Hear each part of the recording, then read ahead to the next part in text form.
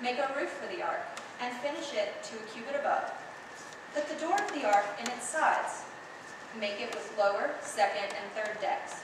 For my part, I am going to bring a flood of waters on the earth, to destroy from under heaven all flesh in which is the breath of life. Everything that is on the earth shall die, but I will establish my covenant with you, and you shall come into the ark, you, your sons, your wife, and your sons' wives with you. And of every living thing, of all flesh, you shall bring two of every kind into the ark, to keep them alive with you. They shall be male and female. Of the birds according to their kind, and of the animals according to their kind, of every creeping thing on the ground according to its kind. Two of every kind shall come into you to keep them alive. Also take with you every kind of food that is eaten, and store it up, and then and it shall serve as food for you and for them. Noah did this. He did all that God commanded him.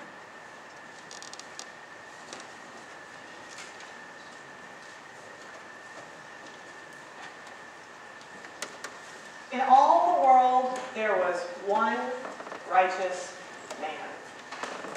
This was long ago, in a time where violence and corruption were in abundance, and righteousness was in a shortage. And so God decides, in order to address this problem, he's going to wipe everything out.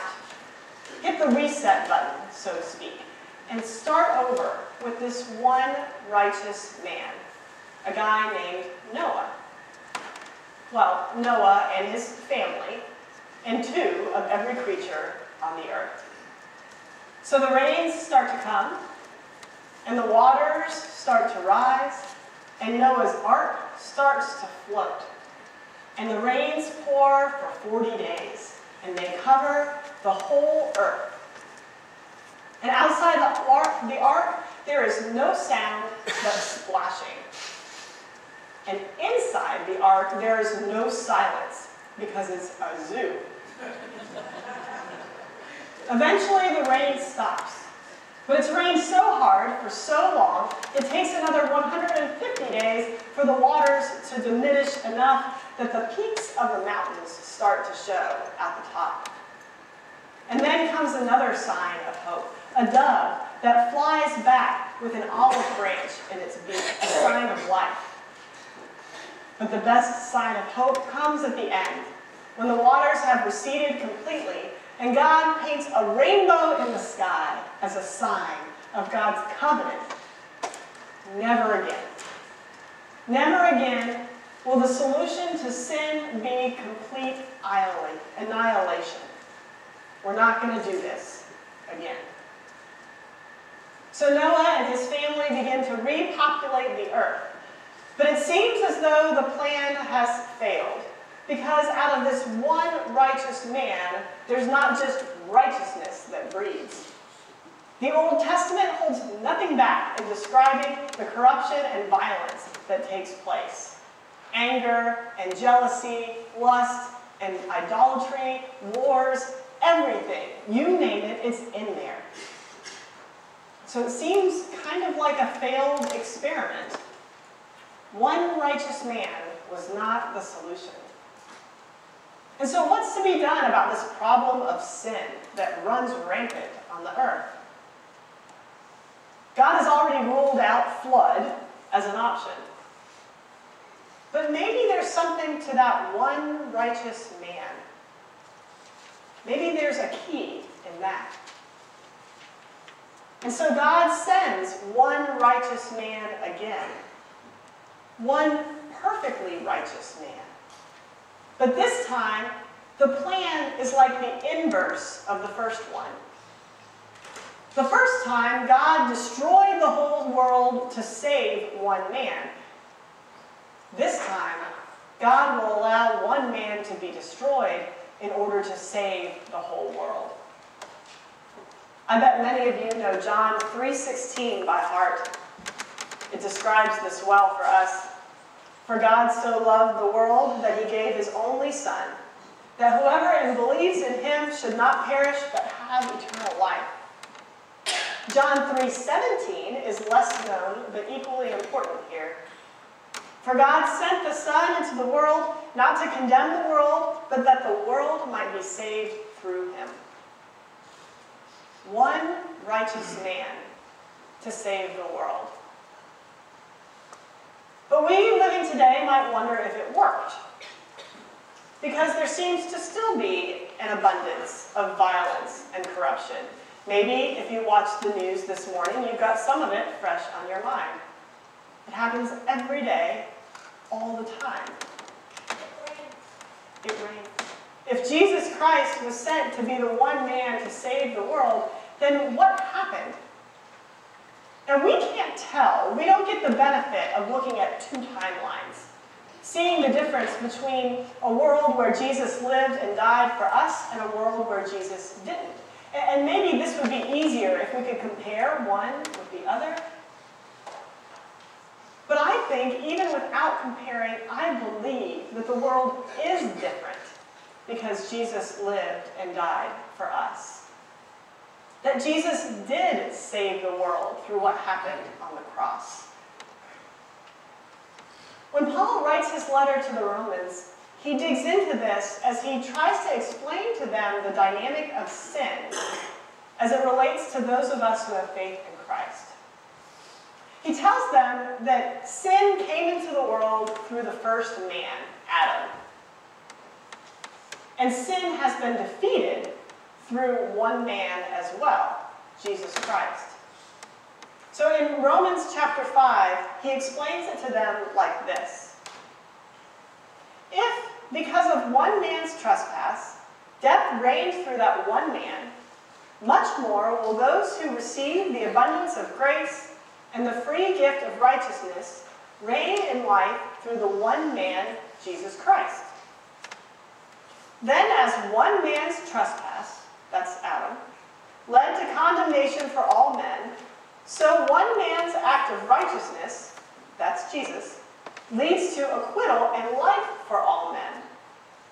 For as by one man's disobedience many were made sinners, so by one man's obedience many will be made righteous. By one man, many will be made righteous. Through Jesus Christ, through his death on the cross, our sins hung there too and died with him.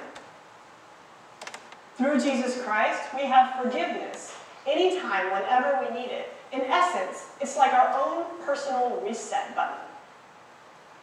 Through Jesus Christ, we have an example of how to live for God and love other people.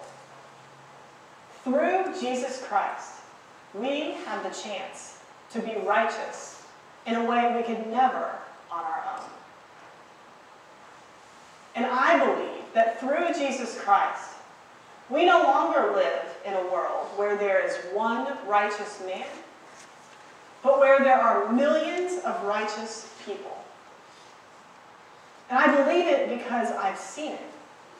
And it shows up in ways that aren't newsworthy. You won't see them on the morning news but they're important. Yesterday we celebrated the life of Jean Christie, and in that woman, I see God's righteousness. I see a life lived for love that had an effect on countless people. And I've seen it in you too, in this congregation. A group of people that loves each other that welcomes every person who walks through the doors, that forgives each other, that's faithfully following God, I see righteousness in you.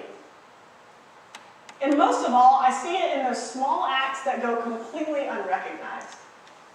In the one who takes out the trash without recognition or thanks.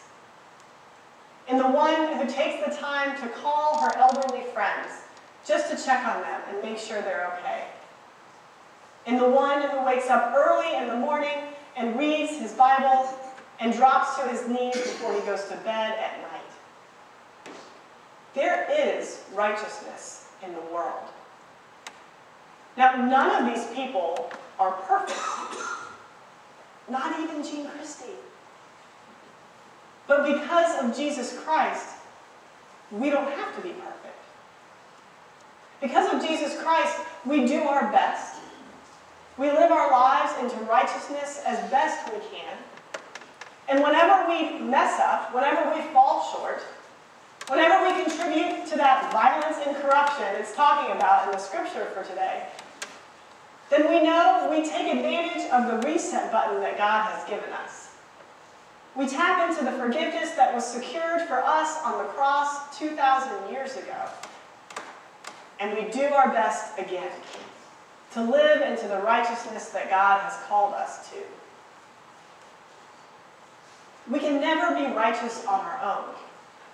But through Jesus Christ, this is the gift and the grace that God has given us. That all of us have the capability to be righteous through Him.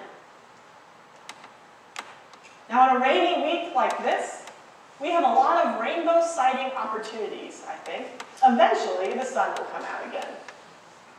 And the next time you see a rainbow, I want you to remember God's promise. A promise that at that moment was to never flood the world again. A promise that the solution to sin would not be annihilation, but a promise that came to completion in Jesus Christ.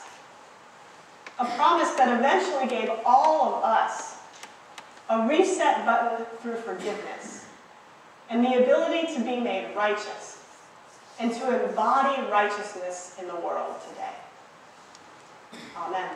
Amen. Would you open your hymnals to page 12?